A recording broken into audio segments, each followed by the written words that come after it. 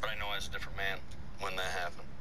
I know my worldview now is regret though? drastically changed. No regrets. Exactly, I, so- I don't have regrets. You, but you, you understand, you understand what I'm saying, right? It's like, people see it, people who are mixed race as,